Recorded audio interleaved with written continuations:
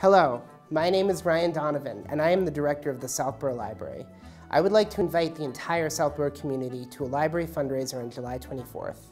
The fundraiser will take place all day at Anthony's Coal Fired Pizza on Shops Way in Northborough. 20% of track dine-in and carry-out sales will be donated back to the Southborough Library Fund. Remember to tell your server that you are dining for the Southborough Library or to pick up a flyer next time you stop by a library information desk.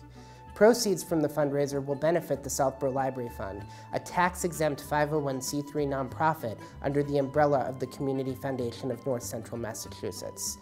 Donations made to the SLF are used for items outside the library's annual municipal appropriation, including furniture, capital improvements, or construction.